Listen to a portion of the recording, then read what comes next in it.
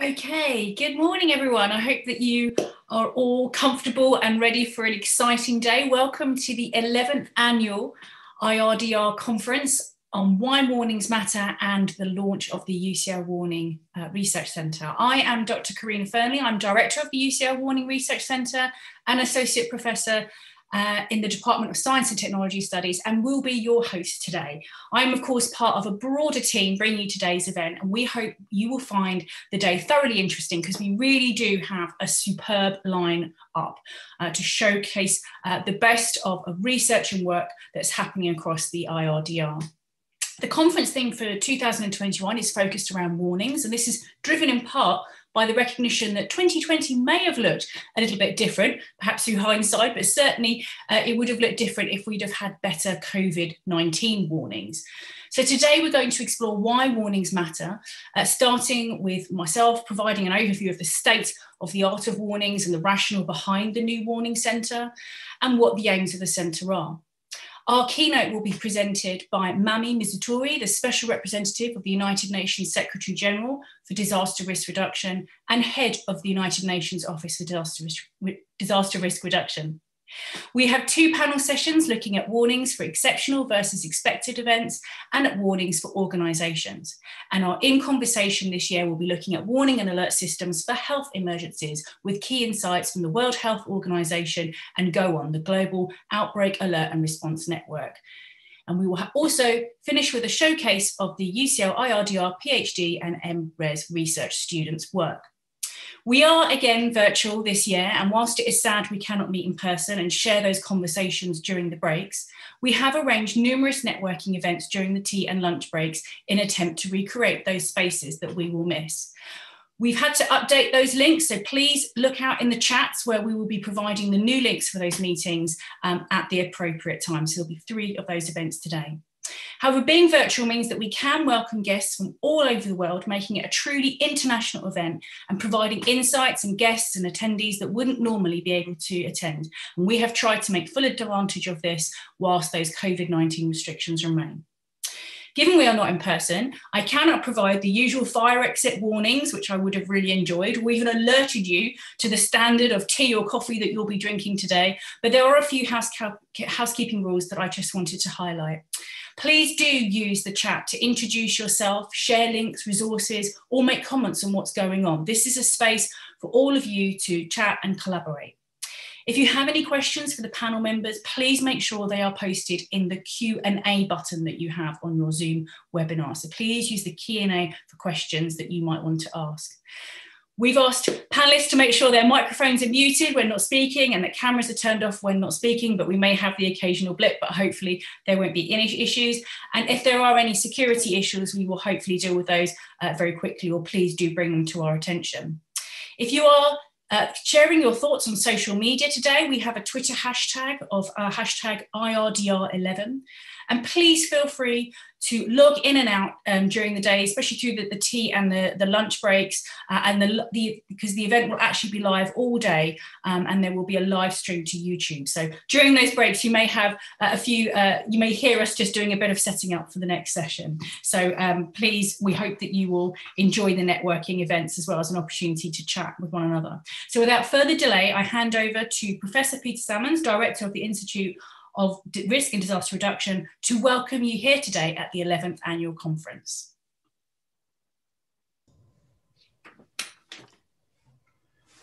Well, thank you very much, uh, Carina, and welcome everybody to the UCL IRDR 11th Annual Conference on Why Warnings Matter.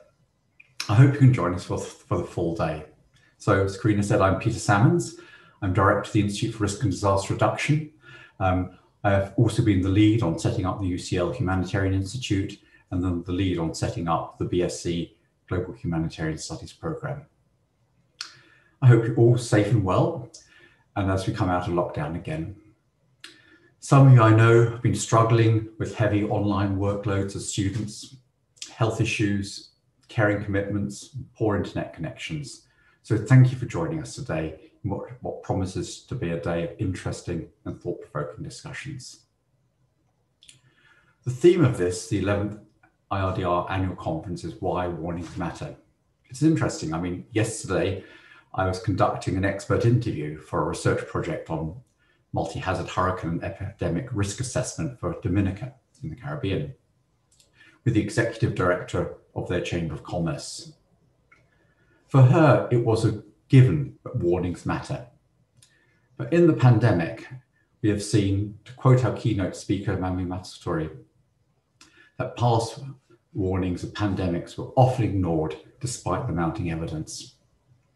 So we're delighted at this conference to be hosting the launch of the UCL Warning Research Centre, led by Dr. Carina Fearnley of the UCL Department of Science and Technology Studies. The annual conference will debate and discuss how we can do better at warnings, both prior and during crises, for all types of hazards.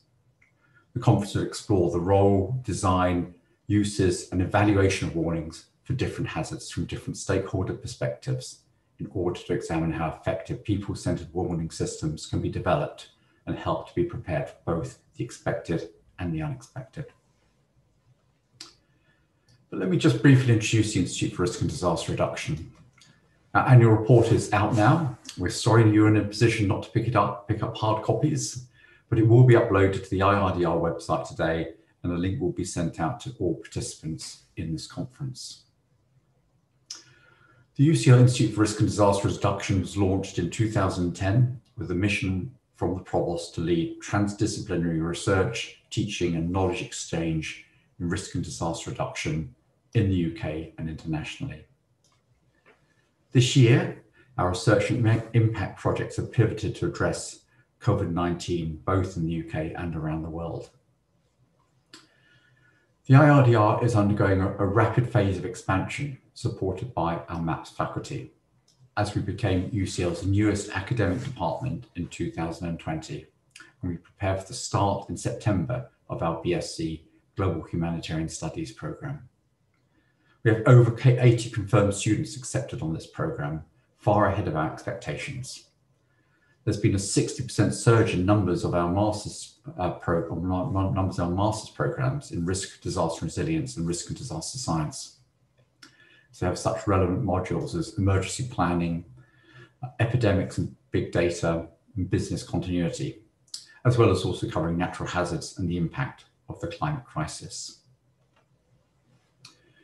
The IRDR has been recruiting strongly we're delighted that Mohammed Shamsudduha is joining us as an Associate Professor in Humanitarian Science, Dr. Rozana Himaz as Associate Professor in Humanitarian Economics, Dr. Yulia Ioffe as a Lecturer in Humanitarian Law and Human Rights, and Dr. Lisa Guppy as a Lecturer in Humanitarian Crisis Response.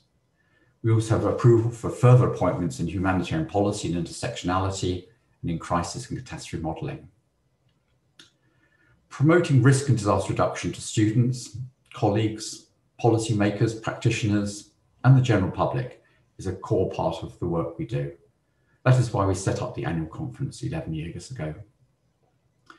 Invitations for the conference not only gone out to our IRDR current masters and PhD students, but also to MSc offer holders. You're most welcome. Ideas are advanced through debate and argument, so don't hold back challenge the speakers and the panelists. Or if you don't understand a point, just ask. Half the participants are probably thinking the same thing. This is your conference too. Finally, I'd like to thank those who worked so hard to stage the annual conference, and in particular, Dr. Carina Fearnley, the conference organizer, and Sarah Geel, the IRDR Communications and Events Manager, and the rest of the IRDR team. I'd now like to hand over to Carina Fearnley, who will introduce the conference and the UCL Warning Research Centre. Thank you.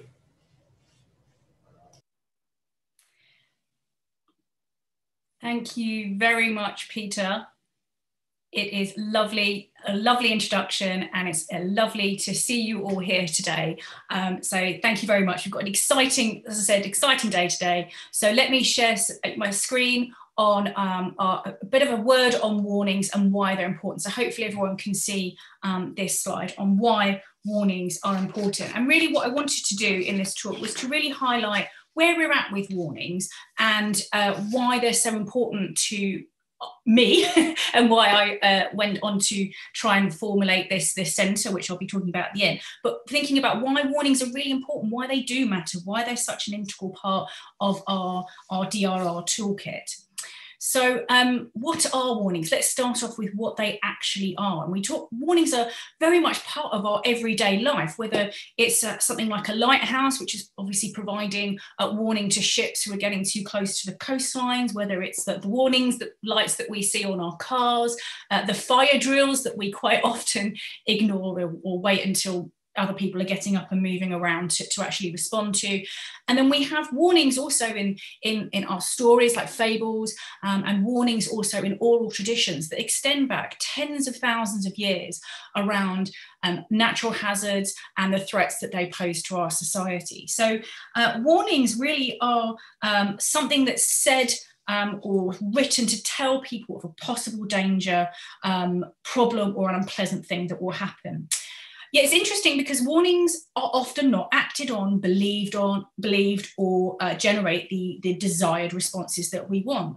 Um, and warnings are often not considered for many of the vulnerabilities, hazards, and threats that we that we face, and, and these are increasing as we sort of move into our Anthropocenic um, um, era. Now, we have a huge range of, of hazards and threats, um, and these range from natural hazards through to, to human made hazards um, to a sort of combination of, of both things us creating uh, climate change and global warming, um, which is accelerating what we're seeing in terms of pandemics and so on.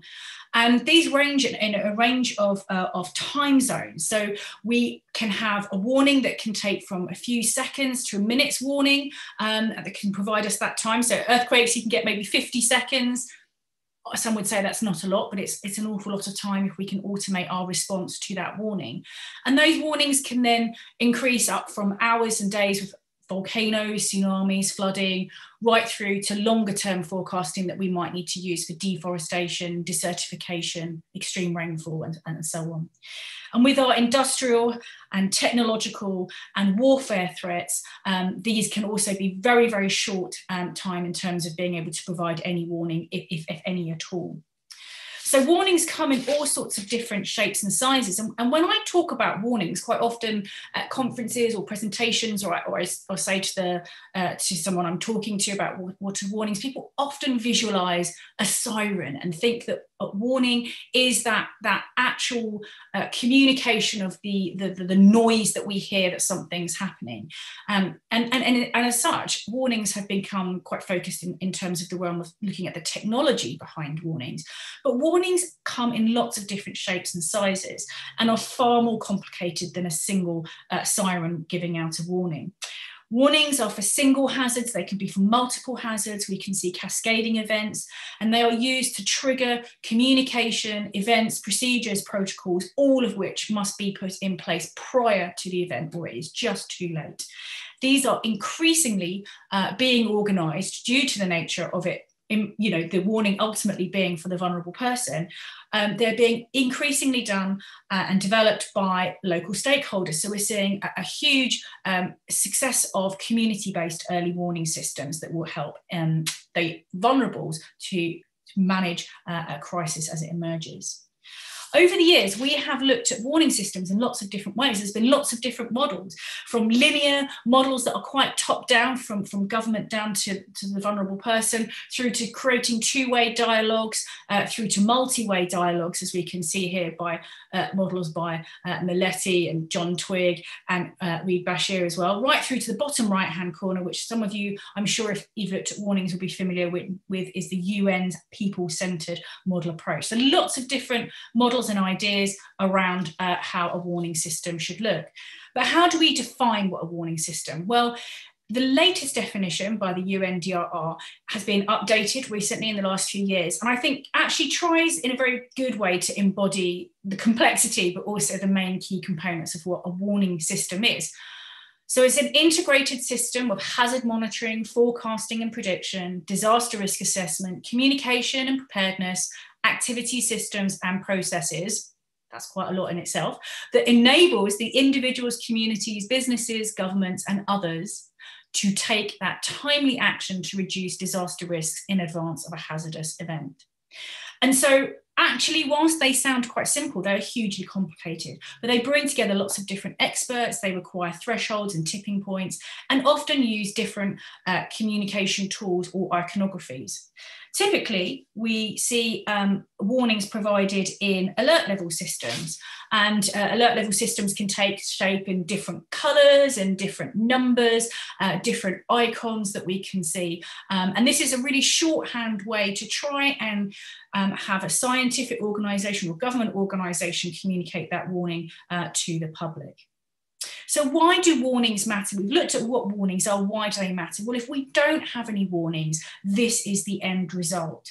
Um, warnings are such a critical part of the DRR toolkit, and yet they are often ignored. And this was the case here with the uh, Sumatra Andaman uh, earthquake and tsunami that happened on Boxing Day 2004.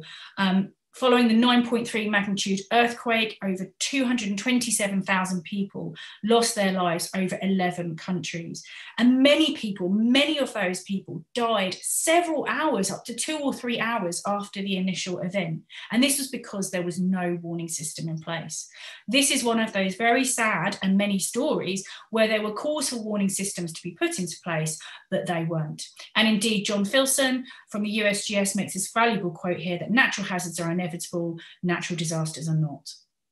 So we know we need to have warnings, but what happens when no one acts on warnings? In this case, we've got a, uh, a, a, a, case study here where warnings were issued, but actually there was not much of a response. So Nevado de Ruiz um, is a, volcano in Colombia. I'm sure many of you are aware of this story that it erupted in 1985 and scientists detected what was going on and told the local uh, communities in the city of Armero that a, a, lahar, a mud flow, would be most likely if the volcano erupted and it would engulf the city. And the local authorities insisted that the scientists were being alarmist and that actually um, they did not pass the news on to their local community who were having festivities at the time um, and then a storm which then later hampered communication over 25,000 people died needlessly by not sharing the, the, the, the, warnings that were, that were being provided. And it really highlighted the need for better education, understanding, and awareness, um, and also the limitations in the role of science. More and better science is not necessarily going to result in less disasters. And here we have a famous quote by Barry Voigt that it was caused purely and simply by cumulative human error, by misjudgment, indecision, and bureaucratic short sightedness. Now, here's the biggie. What do we do when we are trying to warn a global community? Because that's what we're actually uh, facing um, today. Um, you know, we've seen uh, in, in our ever interconnected global community um, that, you know, things, pandemics, viruses travel pretty quickly. Um, and um, we've seen the rapid spread of COVID 19 and the significant impact that that's obviously brought to, to many. Again, here we saw the event coming. Mami Mizutori, head of the UNDRR, speaking a bit later, said past warnings of a pandemic were often ignored despite mounting evidence. Yet, for many nations, it took them by surprise. And Dennis Mileti, um, who is a, an absolute legend and pioneer in the disaster risk reduction world, uh, published significantly on warnings. Um, was was quite um, was quite shocked at the response in the USA, and he uh, quoted of saying early 2020 that this might be the largest public information mess I've ever witnessed. It just breaks my heart. We know how to do emergency planning better than anyone on earth, and it's just not there. It is utterly tragic that Dennis Mileti was one of the 601 eight 601,824 victims of the virus in the USA today. It is a heartbreaking loss to the DRR community and also to the Warning Research Centre, as he was an early affiliate and supporter of the centre. And we aim to honour his work as part of our, our centre. So, what is going wrong? We know that warnings are on the agenda. We've seen fantastic reports like the World Disaster Report by the International Federation of the Red Cross and Red Crescent societies. It's been uh, a, a, specific um, action point within the HYOGO framework in 2005 to 2015 to improve risk information and early warning, and also part of the Sendai framework, a key target to access. Uh, give, give better access to multi hazard early warning systems. It's on the agenda. but it's not being implemented. Interestingly enough, if we look at recent key health documents that were published prior to the COVID 19 pandemic, we can see in these four documents, the word warning is only mentioned twice incidentally other associated words were not mentioned so it wasn't like there were a different word was being used. It just shows that there wasn't um, an interest in the word warning or it's not part of the preparedness um, protocols. Why is this? Why are warnings still uh, not being spotlighted in the drr world? Well there's four main reasons and the first thing is that actually warnings are pretty complicated. They're actually quite complex. They're dealing with complex phenomenon in a, a complex world um, and they, you know, have to operate on different spatialities from local levels to national to international to global levels, depending on the type of hazard. They occur over different timescales from rapid onset to slow onset, from frequent to infrequent. They can have different functions, whether it's for safety, property, or environment. They have to deal with the individual nuances of different hazards and threats. You know, a terrorism alert level is very, very different, or warning is very different to a weather warning, uh, very different to a volcanic warning or industrial warning. They also vary in processes. Some warning systems are completely automated, some are hand oper- human operated, some are hand operated as well, some are standardized, uh, and some uh, are, are, varying and changing all the time. And as I said before, they can ch- change from single to multiple to cascading event. In order for a warning to work, you need to have an indicator, something that we can actually monitor of that hazard or threat, like seismicity, if we're looking at an earthquake. We need to then monitor that. That requires the science, the technology, and the investment to do it. Issue that warning, which means making decisions about what the data means and interpreting that. Communicating that warning, of, obviously, we do use a siren or text messages or Twitter or whatever um, to do that for people then to receive that warning, to have that communication, to understand that warning, to believe the warning, which means having credibility in the organization issuing that warning, and then acting on that warning. So for people to be able to see the relevance of that warning to them. Context is massively important. The social, cultural, economic, and political context is vital. And one of the amazing things that we can see from the COVID 19 crisis is actually the way that we've got this single event happening that's cutting across all our different nations and how different countries are responding. And that is showing some really interesting insights. For example, we can see just the huge change that it's made in the USA um, from a change of, of, leadership and government in terms of the approach um, and the management of the COVID 19 crisis. And indeed, we've seen people uh, like Jacinda Ardern, who've uh, been world applauded uh, for her efforts in the um, management of the crisis. And this is in part because she created, with her team, uh, with a country that's very used to managing uh, disaster risks, um, a, a, very effective, clear, uh, transparent uh, alert level system that meant that the public could see a pathway um, to recovery and also uh, know exactly what each alert level uh, enabled in terms of the different actions they could take.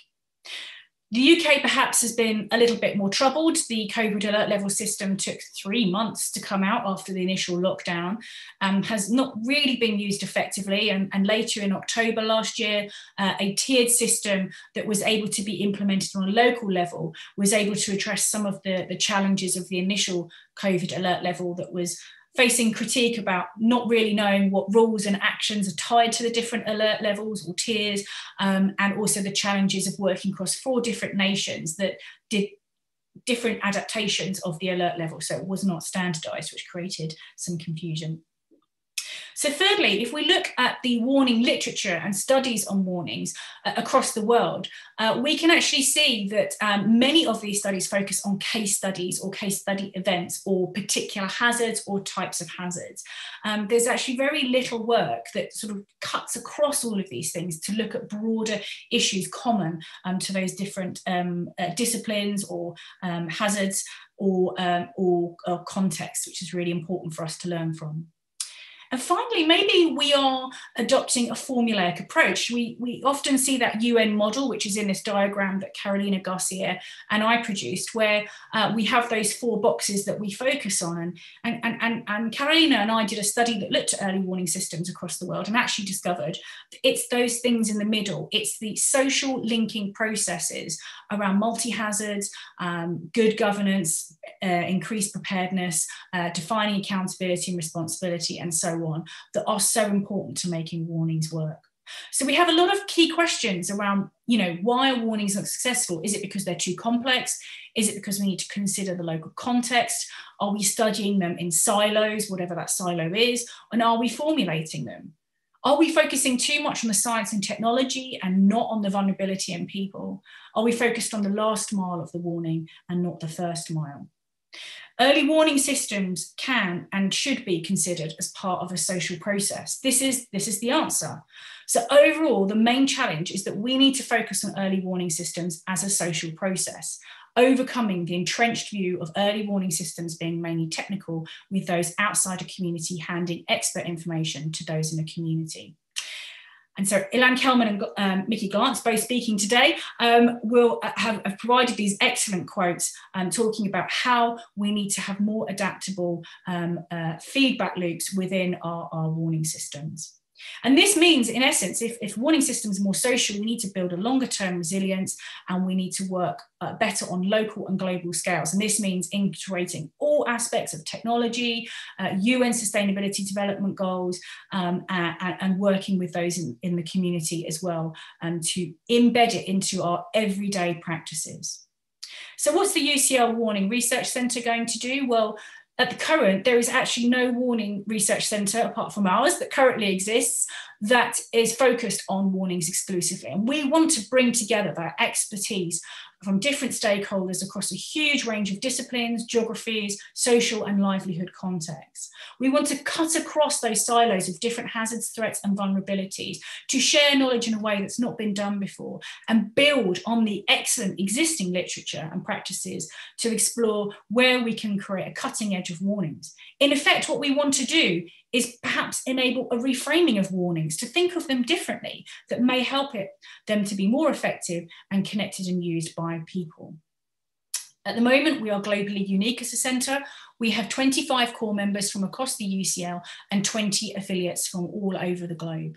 We aim to create a global centre of excellence around warnings, provide a community for those warning researchers and practitioners to share ideas that doesn't currently uh, exist to provide research expertise, teaching expertise, policy advice, and public engagement in relation to warnings, and help place warnings on the agenda. And we already have a, an associated warning group with the Volcano Alert Level Working Group that's looking specifically around warnings for volcanoes. These are some of the key areas that we wish to address at the Warning Centre. We want to create and pursue a warning agenda. We want to enhance preparedness within DRR with integrated warning systems. We want to learn from different uh, warnings used in different hazards, understand local and standardised systems so that we can make sure that they are useful at government level, but also remain relevant to those that are vulnerable and effective, uh, effectively affected the most by a, a crisis. Uh, we also want to investigate good practices and see if we can develop any good practices or trends, uh, investigate a range of communication tools about how we can communicate better um, to many different stakeholders at the same time, increasingly in a global way. And finally, integrate credibility, relevance, and legitimacy as part of the science policy interface so we can make better decisions in the way that warnings are set up, managed, and implemented. So far, since we were set up in September 2021, we've been pretty busy. We've been giving some evidence to the House of Lords under the Inquiry of Risk Assessment and Risk Planning Committee. We've organised a two and a half day training course for the Doctors with Africa CUAMM NGO that provides medical healthcare all across Africa, and we look forward to working with them further later on this year. We've presented at a number of different events. We've received a grant from, from UCL with Dr. Tom Pegram at the UCL Global Governance Institute. And we've got lots of collaborations with centres, the IRDR and other centres and, and, groups within uh, U, the IRDR and across UCL. And we currently have three studentships in, in place. The year ahead, we've got today's event. We've also got another launch event next week from the Science and Technology Studies Department that looks at what warnings mean. And there we'll be exploring historical and social cultural meanings of warning, visual representations of warnings, and putting warnings into practice by looking at policy. We aim to bring our affiliates and centre members together to give webinars and world leading warning experts. We are building resources around warnings that will be available on our website for you guys to use. We'll continue our policy work, continue our training courses, and hopefully build teaching capacity within UCL and provide a space for research and publications. So this is our website. This is our social media. Please do keep in touch with us. Um, and we welcome your input, ideas and collaborations going forward. The centre is here for you to help us move forward and find better pathway forwards to warnings because warnings do matter. And finally, I'd like to say a really big thank you um, to all the team, to my uh, Deputy Director, Ilan Kelman, the team across Science and Technology Studies and the IRDR who've helped um, set up the centre and also um, today, and also to our wonderful uh, interns as well who have um, helped make today possible. So I will stop sharing this slide and just say thank you very much for um, uh, listening to me give a little bit of a word on why warnings are important. So hopefully you've, you've got a bit of a gist of why that's important. And now I would very much like to pass over um, to Dr. Joanna Faure Walker, who will be taking uh, our first panel session today on exceptional versus expected events. So please enjoy the rest of the day. Thank you. Hello and welcome to panel session one, warning systems, exceptional versus expected events. As Carina has mentioned, it's generally recognized and accepted that warning systems are a process, they're a system, they're a cycle.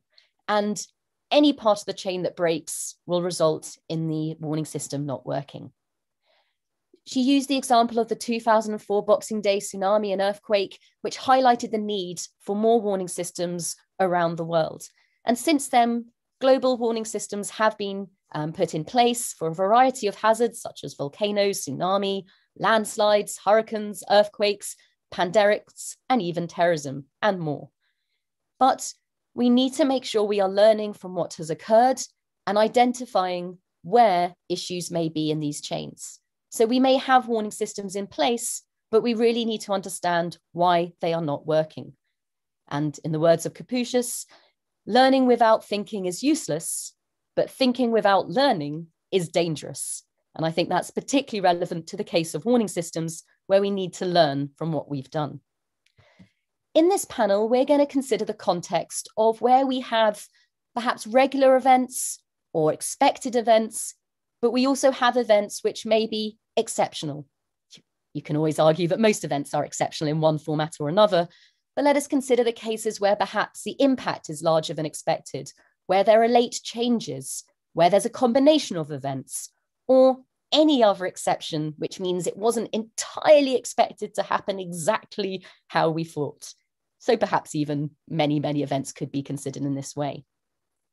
What we want to consider in this context is how to ensure that early warning systems are indeed effective at allowing those in danger to actually make informed decisions regarding safety seeking behavior. And crucially, what can get in the way of that. So we may consider issues such as forecast hesitancy, and Mickey Glantz will be discussing that, along with looking at lead times and who the warning systems are actually for, and remembering these are people, and we need to consider how different people may behave in response to different types of warning. We need to understand particular case studies. As Carina mentioned, there is lots of literature out there but in this context of exceptional events, what did people actually do? And how could we do the warnings better to make sure that safety seeking behavior is adopted as, as appropriate? And we also need to have a method for actually quantifying the effectiveness of warning systems and understanding the uncertainties around them. And particularly in the case of exceptional events, understanding these values and these numbers so that people uh, themselves can understand the uncertainties and respond in a helpful way. And so we can evaluate warning systems as well. And Daniel Straub will be discussing that. In this panel, we will have our three speakers.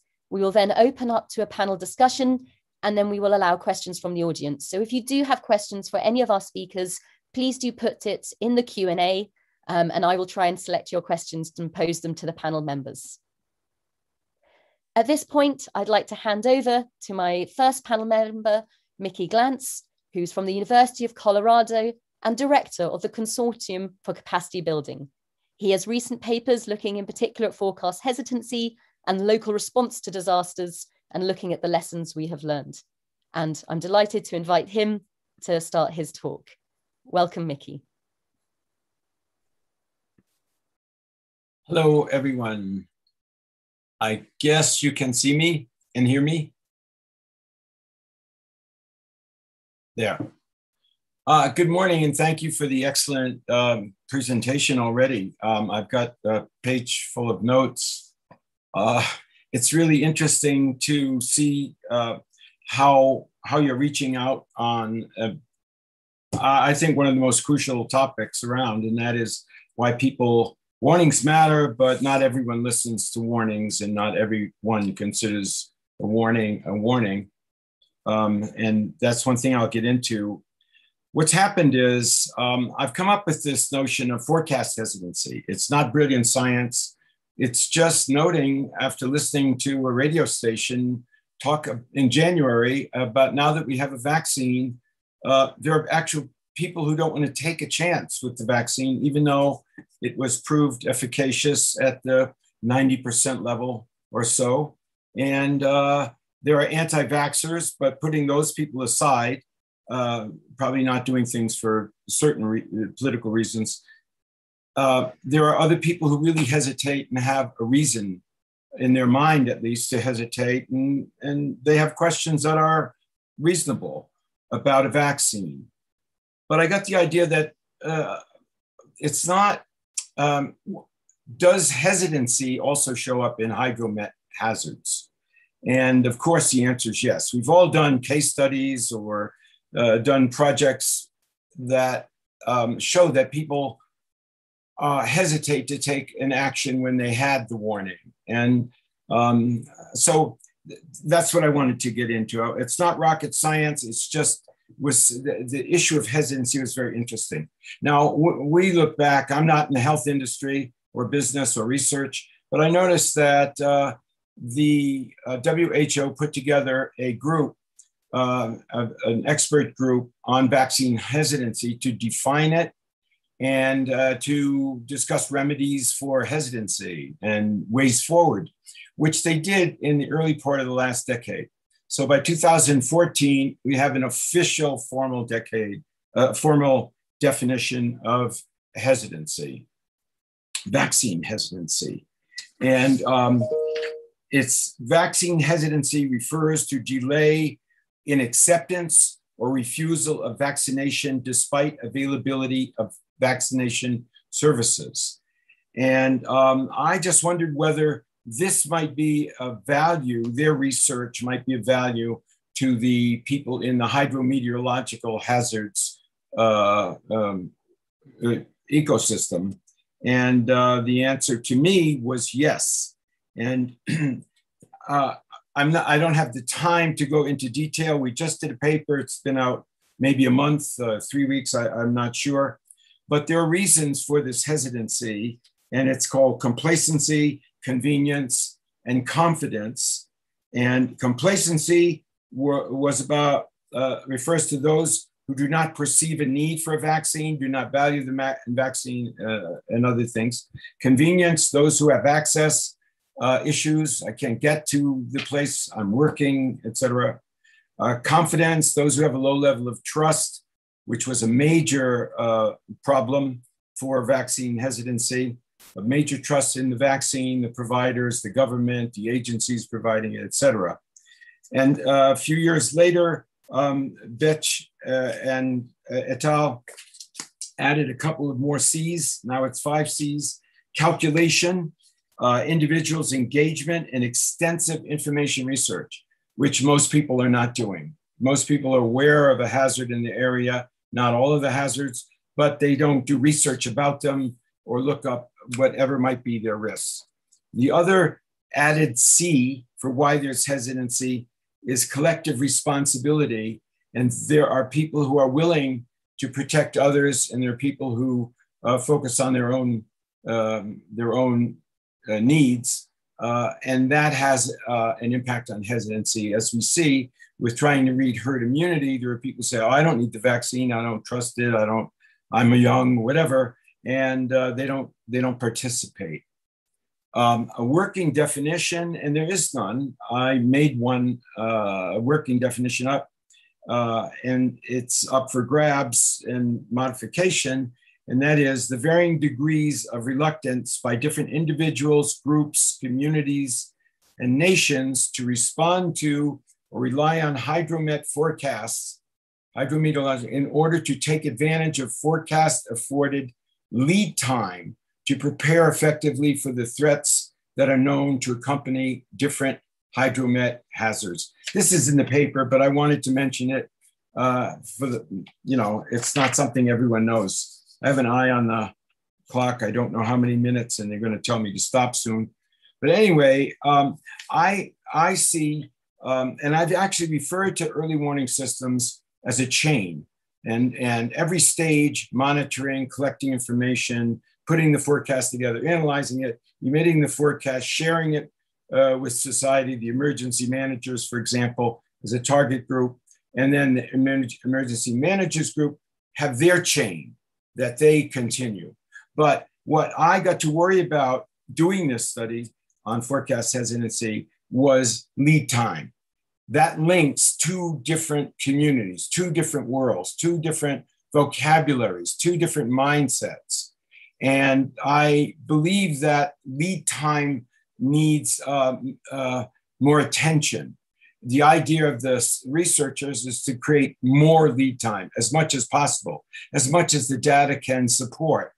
And the emergency managers want to get a hold of that forecast, get the warning as early as possible, even pre warning development of a warning uh, would be useful. So, uh, my feeling, I came to this uh, at the end of this study that there perhaps should be something not necessarily another structure, but there has to be a guardian of the complete chain. Otherwise, you have two chains, the early warning chain, and they pass it off, and uh, it goes to the, the, the uh, responders. Now, the WMO has come up with this impact based decision support system, which is supposedly linking these two worlds. And I think there's a lot to look at at this IDSS uh, WMO plan. Uh, I think it's got good points. In theory, it's a good idea. In practice, I'm not sure whether it's going to prove to be cosmetic or uh, really um, eventfully and successfully used, whether we're building a better forecasting silo and handing that off, treating as a junior partner the emergency managers, kind of like a rider and a horse uh, yes, they're partners, but they uh, are not equal partners. So I think uh, there is this chain issue that that we have to think about. Okay, uh, merging the chains. Um, one of the problems is that um, the the response to a forecast the, that leads to vaccine hesitancy or forecast hesitancy is emotional, and emotional is not necessarily always a rational uh, uh, decision making process. It's uh, emotional and psychological factors take over, and things get weighted differently than uh, you might weight them in normal time. So, um, uh, the, the fact that I hear a warning, an early warning, and then another early warning two, and an early warning three, and an early warning four, where's the break? When, yes, risk is increasing, but whether it's a volcano where you have yellow ribbons tied around trees for, for decades, uh, that warning washes out. Whether you have an orange level and it goes two years, it washes out. It's, it's, uh, do we have the colors? Do we have the numbers? What is it that will be the catalyst? And so we have in society the risk takers, and those are the people who uh, wait uh, often for the first signs or the 10th sign that the risk is real. Risk averse people generally are more sensitive to warnings and will respond more quickly. So, um, what the symbol, if I were to use one about this, um, the risk takers would be the family trying to load people into a car as the forest fire is raging towards their um, above on the hills above their house when that fire's been moving towards them for five days or three days. And then all of a sudden they're looking for the kids and the animals and a few possessions to, to, to leave. Or a flood where people store things in their basements if they have them or the first floor instead of on higher levels because basements are for storing things. So um, I'm, I'm kind of gotten off the talk, but it's I'm interested in forecast hesitancy, and perhaps there needs to be, and it's a, an onerous task, is coming up with a portal where lessons that are identified are collected. We tend to confuse lessons we read in reports as lessons learned. No, they are lessons identified. And until they're actually used or attempted to be used and tested, they are just ideas and they're often forgotten. And one of the psychological things that I find with disasters is we discount the previous disaster. We're smarter than they were, so we think. We will do better, so we think. And we don't necessarily do that. What happens is when you're not learning lessons, you're backing into the future and you're guided by the past, not uh, by the next event that might come along. The other quick thing I want to say, because I know they're going to pull the plug in a moment, and that is that in the UNDRR glossary, there is the word preparedness. It's in the presentation this morning. Preparedness is real. It's, uh, to me, strategic thinking. But what's missing is readiness. And readiness, and I, yes, uh, maybe I'm pushing my own thing, but I do believe that in the UNDRR definition of preparedness, there's one sentence putting readiness as a subset. I see readiness as more tactical and uh, preparedness as more strategic. And there's a tendency for poor communities to focus on the readiness because they don't have the resources to focus on long term preparedness. Even though they know El Nino is coming and it brings drought, that's not something they have time or funds or people, personnel to deal with now. I don't know if I'm supposed to pull my own plug. momentarily, momentarily. momentarily. Okay. So, so the, the three things I wanted to mention, and these are up for grab. These are, uh, I've been doing early warnings for a long time, um, more than I, I, wish to admit. And um, my feeling is that forecast hesitancy is a, is a good concept. It's new. I haven't formulated it. Uh, I just came across it and got the idea. I think it's it should be further studied. I think lead time is sort of uh, uh, an oversight. And the third thing is because we have these people who are risk averse, I think we should be focusing on what I call a late warning system, which is different than an early warning system. It may be a subset, I don't care, it uses different vocabulary, different mindset in dealing with potential victims. It's the last shot, the 11th hour set of warnings, because otherwise it's warning, watch. I can never get those in the right order. And I'm old and been doing this for a long time. Which comes first? I don't know. And uh, so I think we have to think about late warning system, some way to stimulate that, that group, that the holdouts that think they're smarter than the, than the forecasters, etc. The other thing I should just mention, I can keep doing this, please stop me when you're ready, but uh, what I would say is, is that we can't let science off the hook. Science has its problems. I did a study back in 82 in Yakima where they made a forecast for water for a valley and uh, their forecast, um, they prompt um, division of water among users. And what happened was when they saw that there was more water in the rivers than they had projected, rather than fixing the forecast, they waited for nature to catch up with the forecast, which it never did. And then the farmers took the people to court, and then the government said you can't sue a government agency. So anyway, I'm just saying, don't overlook the the science community. They are put on a pedestal, but I think the emergency managers and uh, informal responses should be on that pedestal with them. They've got to be treated equally. Okay. Anyway, I, I thank you. Thank you so much, Mickey. Um, really interesting ideas there. And say bringing all these issues together is, is critical. I would now like to invite Rebecca Yaw, who's a PhD candidate at UCL IRDR and has a lot of experience working for NGOs in the development and humanitarian fields. Um, Rebecca's recent papers include looking at warning systems and evacuation, and also looking at the suitability of different evacuation centres. Uh, Rebecca, thank you. Thanks, Joanna, and uh, thank you, Carina, for the brilliant introduction. And uh, I must say it's a real pleasure and honour to be a student at UCL um, and be able to present at this inaugural event.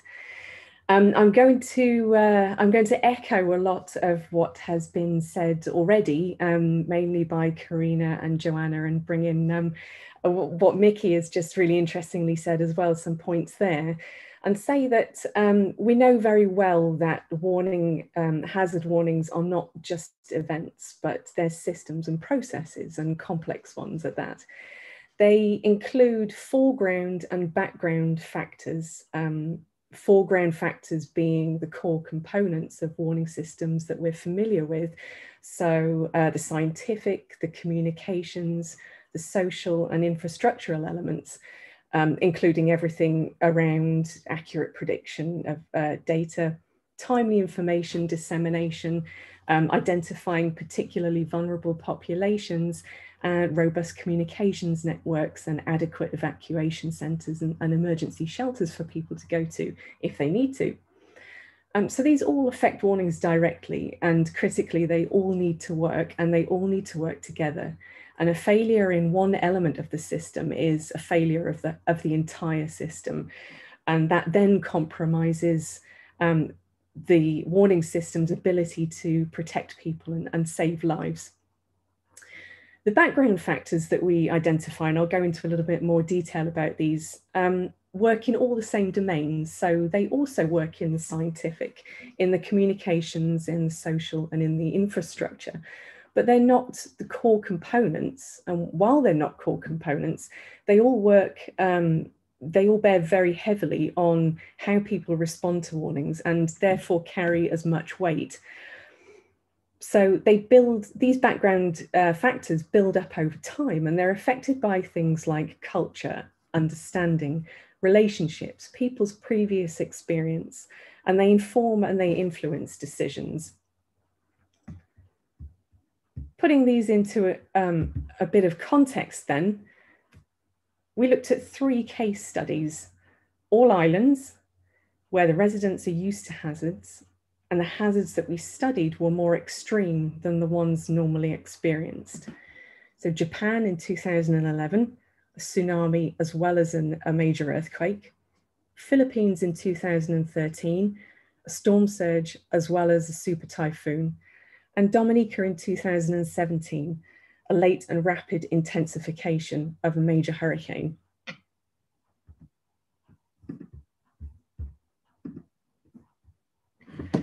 In these situations, we found that no one warning system reached everyone. In fact, in most, it didn't even reach half of the people that we spoke to.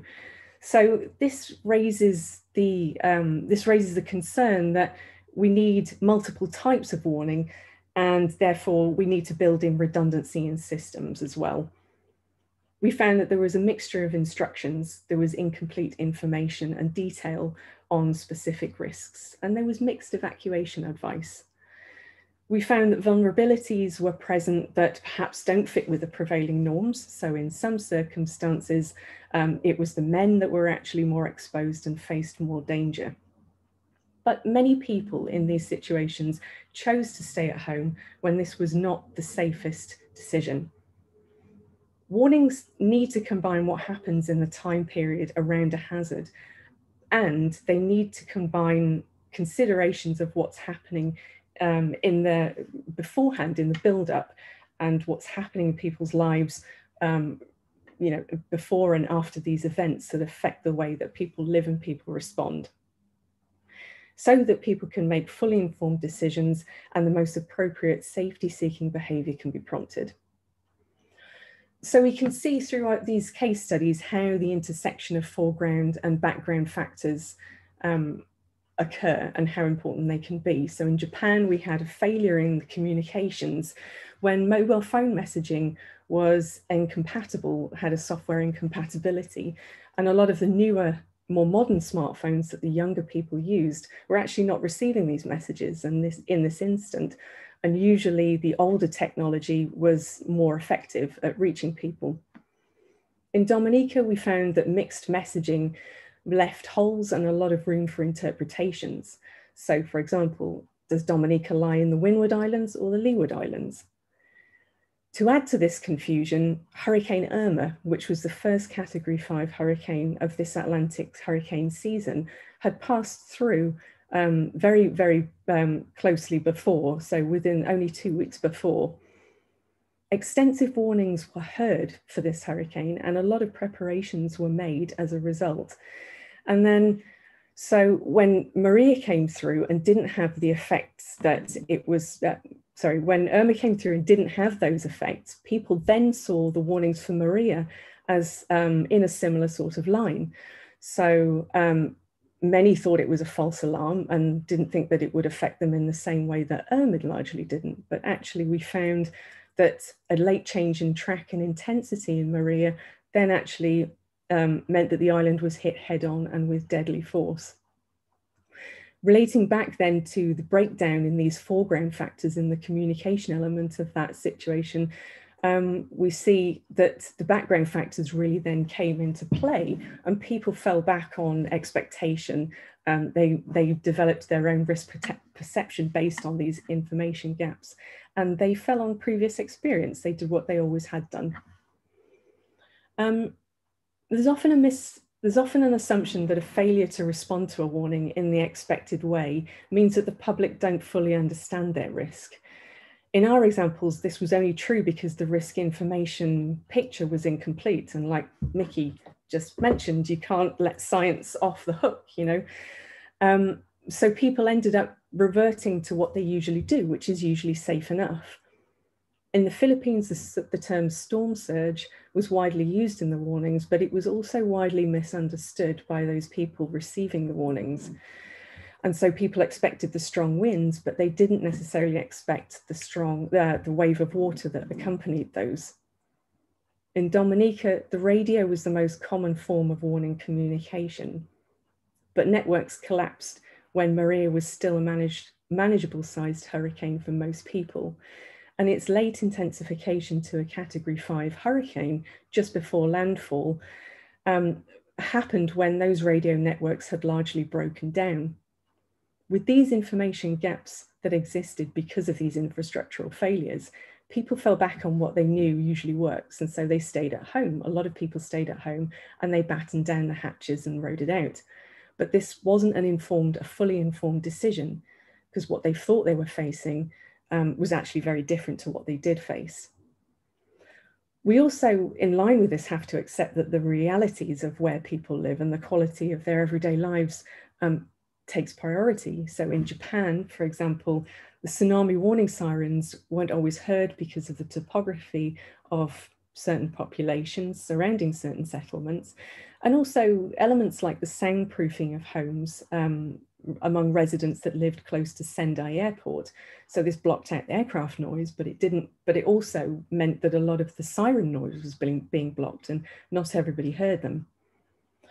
We found these realities in daily life um, came in many forms. So factors such as age, family, gender roles, social dynamics and societal expectations, and even strength and security of houses um, really heavily influence people's decisions to either stay at home or to evacuate elsewhere.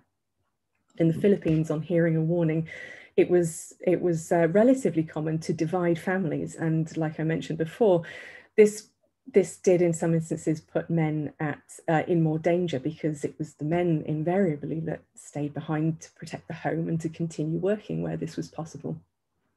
So the foreground factors tend to guide the design and implementation of warnings at high levels. And it's these really that the technical experts and the governments pay attention to. But then as the information disperses out and down through regions, cities and villages, that often means that the individual um, ends up at the peripheries in this perspective. But to the individual at risk and they're um, thinking about their own situations and, and their surroundings, they're very much um, at the center of the equation. In their perspective, in this perspective, the background factors then come to the fore and ultimately guide the decision making process. In disaster risk reduction, we often think we alone are able to objectively and scientifically assess risk, while maybe non specialists or often people living unaffected by disasters can be subjective or even irrational.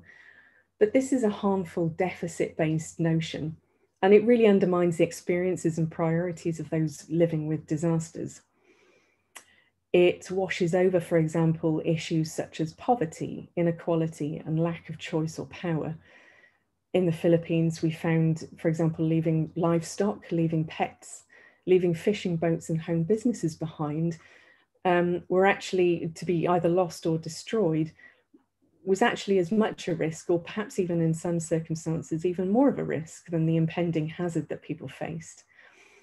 Um, an evacuation centre that was itself exposed, unsafe, difficult to reach, or overcrowded could often make staying at home a much more attractive option, irrespective of the other risks that were being faced. And these are all background factors that will ultimately determine if warning systems are effective at saving lives we know that life is complicated, and in considering how people make critical de decisions in times of higher risk and higher stress, we have to see the bigger picture and understand how these warnings fit into the lives of those hearing them, how people lived before the warning was issued, issued, how they're likely to live once it's passed, which means that we ultimately have to continue making warnings a part of everyday life and we have to integrate them as much as possible.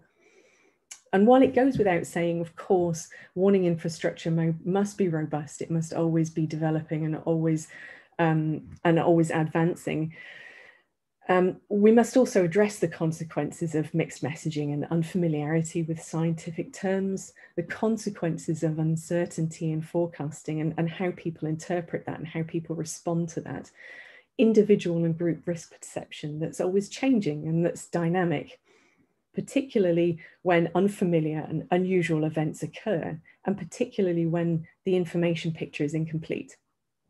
So looking at these extreme hazards in this way really highlights more clearly, I believe, um, the issues with fore, foreground and background factors, um, where points of failure arose and that meant that the system didn't work as a whole.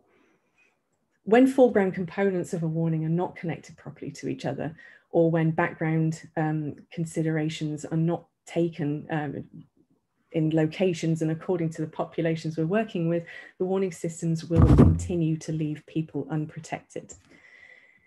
Now, I'm just going to show you uh, a lot of foreground and background speak here, but this is what I'm referring to.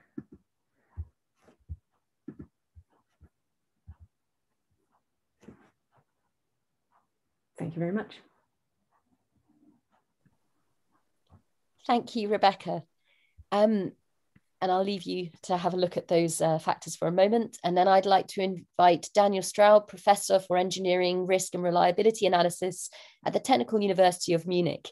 Um, his recent work has focused on optimal decision making under uncertainty by combining stochastic modeling and data driven methods, um, with some focus on rare event estimation and building bridges between disciplines. Thank you very much, Daniel. Welcome and thanks a lot for, for having me here. It's a real pleasure and uh, have already learned a lot again.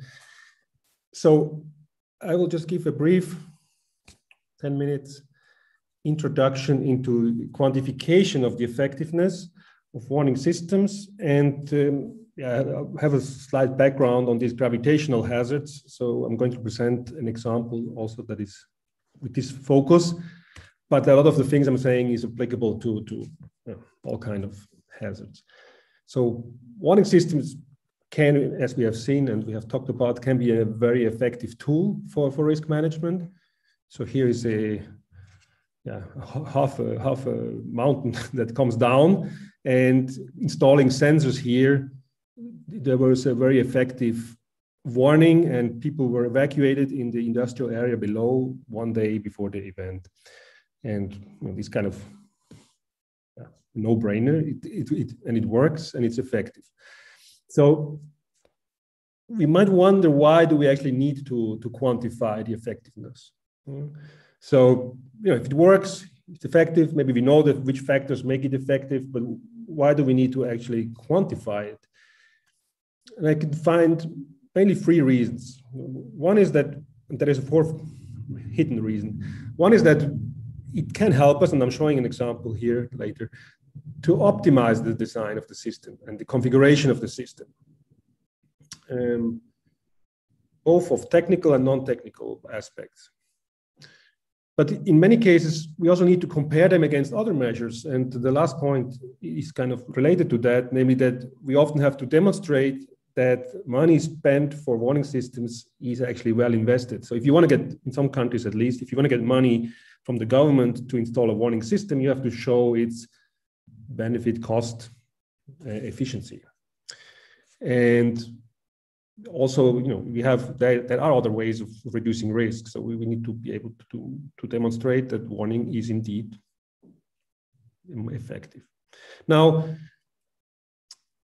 let's jump directly to this quantification. And uh, there are a few equations, but it's not going to be too hard, I, I hope. So we want to quantify the effectiveness and the warning system ultimately reduces risk. So we need a measure for risk. And what we do here is we use a very basic measure of expected loss.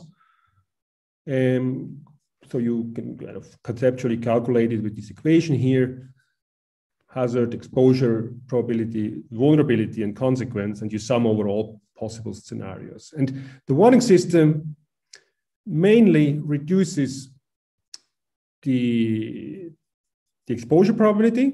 So we evacuate, we, we, we, we can remove also assets from the endangered zone. In some cases, but mostly technical aspects, we can also reduce the vulnerability of a system. Um, so these are the points where we, where the warning system actually changes the risk. And this is reflected if we now quantify that. Um, so I'm going back and the same equation as above, but now a bit less, less obvious. But we still have these four components. We have the presence uh, probability, we have the, the, occurrence probability, the vulnerability, and the damage potential. And we calculate that for each possible scenario and for every ex potentially exposed object or person. And the total risk is then just a summation over all these possible scenarios and over all the possible subjects and objects. Um, so nothing fancy here. Now, to define the measure of effectiveness, uh, we do a kind of a relative measure where we said, okay, by how much is the risk reduced by a, a warning system? So we take this ratio of the risk with the warning system divided by the risk without the warning system, and then subtract that from one. So if the warning system doesn't change the risk at all, then the effectiveness is zero. If the warning system completely reduces the risk to zero, we get an effectiveness of one. Makes sense. Now we insert what we have just seen before. So we take this kind of ugly looking expression here on the top and on the bottom. And on the top, we now have a change in the exposure probability. So in this case, we're focusing on the case where the, the warning system reduces the exposure. So because your people are, are warned, um, there may be organized evacuations, and people will, or less people will be in the endangered area. So we reduce the, the probability of somebody being present. That's the change. And now, if we additionally assume that we, or we consider only one relevant scenario, and we assume that there's no distinction between the different um, persons that are potentially affected. So they're all equally likely to, to, be, to be affected. So in that case, this equation reduces to this simple equation that says the effectiveness of the warning system is just one minus the ratio of the presence probability with and without the warning system. And now we're almost done with, with our equations. So what is now the, the, the, the probability of being present of, a, of, a, of a, we talk about persons here. So uh, the probability of a person being present at the, the location of the hazard at the time of the hazard. Um, that's the same as the original probability, but now reduced by a factor that depends on the probability of detection. So the, the warning actually gives a warning and the probability what we call of compliance. So here the idea is that people can, can choose to comply with the warning or not. And um, which is something we have just talked about in the previous uh, presentations as well, no? so hesitancy and so on. So this probability of compliance, we'll look into that later, but if we insert this expression into our previous expression, we see that the effectiveness in this case is just a product of probability of actually identifying the event and the probability that persons comply with the, the warning. So now let's look at this compliance and I'm going to just look at one aspect that affects the compliance. Mikey was talking about other aspects, and um, but one important part of, of, of, warning is that, and this was mentioned also in the previous talk, uh, if you have people think if this false alarm, they will not comply. So, and the more false alarms that actually occurred in the past, the more likely it is that people will believe that that's not just another false alarm. So these black points here are based on some empirical study, although not related to, to natural hazard, to be honest. Um, but it's an empirical study of how many how people actually complied with, with, with warnings or alarms in function of how many alarms there were pre, false alarms there, there previously were. And clearly, more false alarms means less compliance. We call this the cry wolf effect. I guess you are aware of the fairy tale. So now we take that back in our equation, and we now see that the probability of compliance becomes, in this case, a, a function of how many false alarms we give. And that allows us to solve kind of a, an important problem, namely that we have every warning system has a certain probability of giving correct warnings and a certain probability of giving a false alarm. And I can make, I can change my threshold when I give a warning, and I will increase both false alarms and correct warnings. So I, I describe my system by the so-called ROC curve. And because my effectiveness is a function of these two things, and it's shown here in this color scheme, I can now find for a given system, what would be my optimal point, my optimal system design, choosing between the right amount of, of, of not too many false alarms, but at the same time, of course, pro properly identifying the right, the actual events. Okay, just a short two minutes, and then I'm already done already. We applied this here for uh, the debris-flow warning system that is installed in Switzerland. You have sensors on the mountaintop that try to yeah, pick up signals from the, the, the debris flow.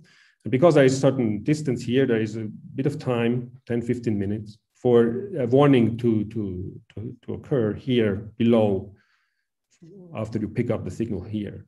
So there, this is installed, and this is just the red lights and some audible signal that we saw before the, the, the. Um, and the question is, yeah, again, what is the optimal configuration? We actually modeled this whole thing with the so-called Bayesian network. I'm not going into detail here, but we, this, this tries to pick up all kind of things that can go wrong um, in the process of the warning and, but this is not including the response. Hmm? So this is just the technical and, and yeah, more or less technical aspect of the warning, organizational technical aspect of the warning. And then we get different configurations that give us different false alarm rates and fall different um, detection rates. And again, under, underneath here, so this is the black line, I should say. So the black line shows the different possible configurations. And then we see the effect, the, the, the effectiveness in function of these two parameters, where actually the false alarm rate is more important than the, the, the detection rate. And we find the optimal configuration of the system. Okay.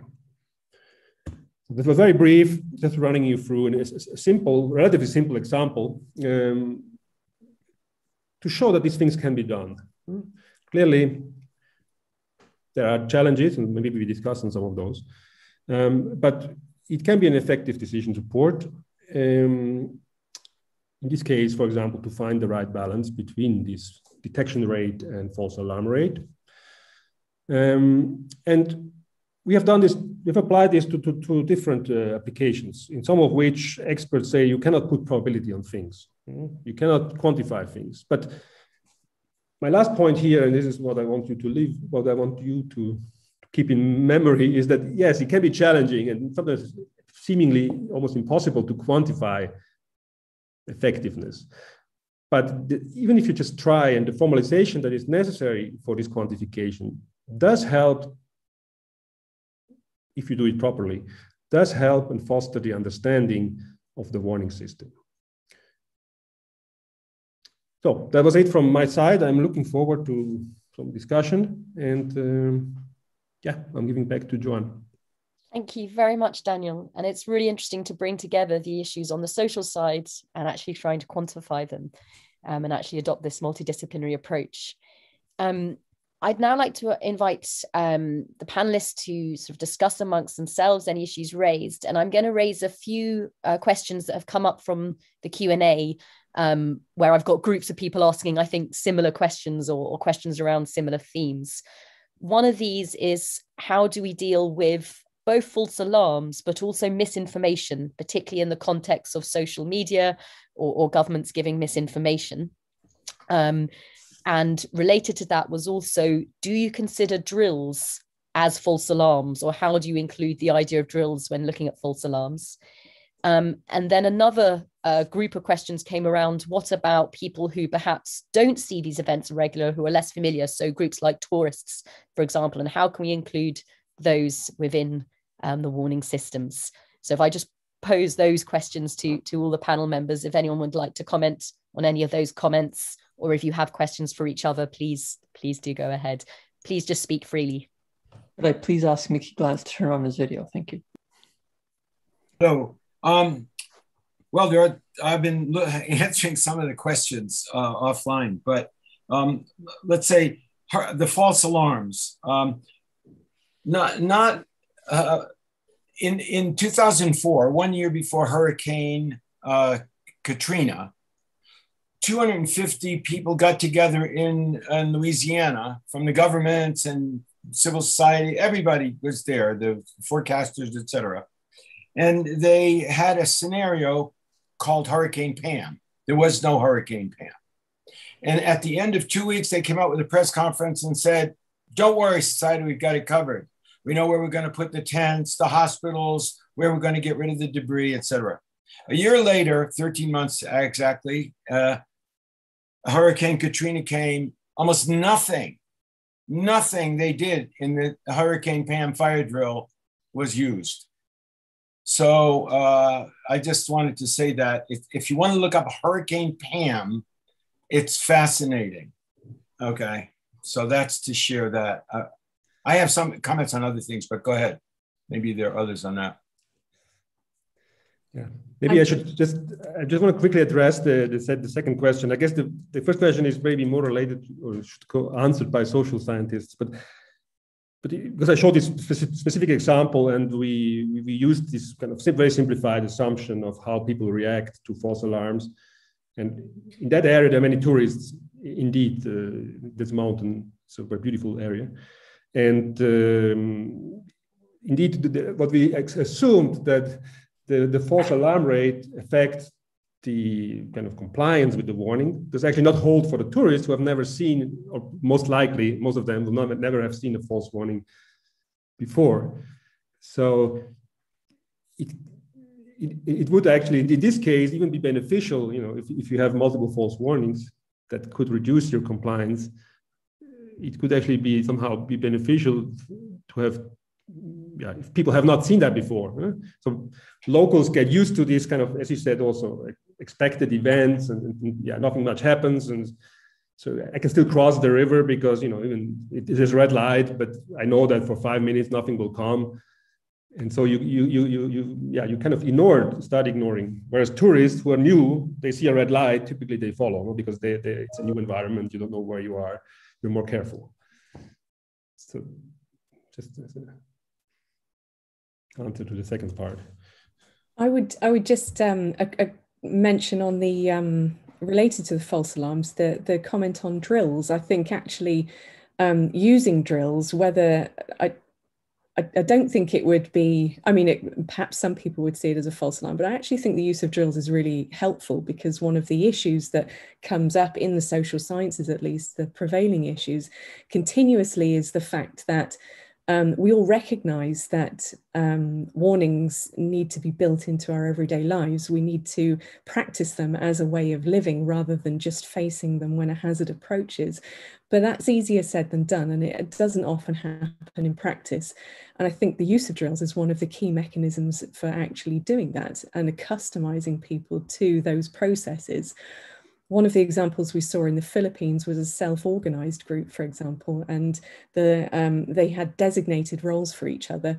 The leader of the group had a high-vis jacket with his own um, role printed on the back, and the community actually um, brought it upon themselves to regularly drill within themselves for a range of hazards, not just for um, ty typhoons that we were looking at as the Philippines is a multi-hazard environment. But this small example of, um, of a community sort of arranging their own hierarchy and structure so that there isn't chaos that ensues among the population or there's slightly less chaos.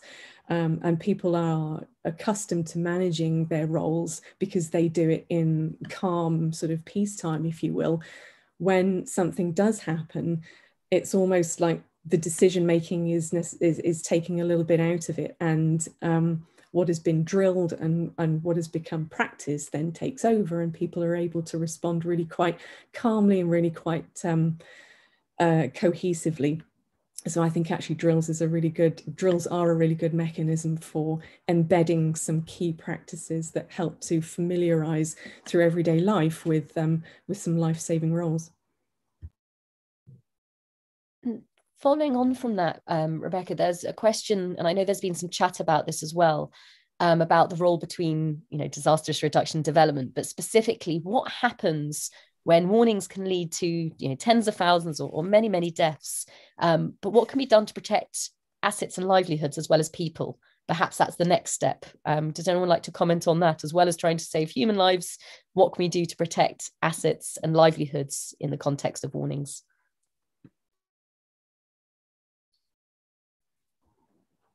I saw just very very briefly. Sorry, I saw um I saw that comment in in the comment box actually, and and um, did write a quick response to it. I think it's a very valid comment, and um, I think it it is something that requires more research. But just one thing that's coming out of my research and and our research actually, Joanna and Joanna and I.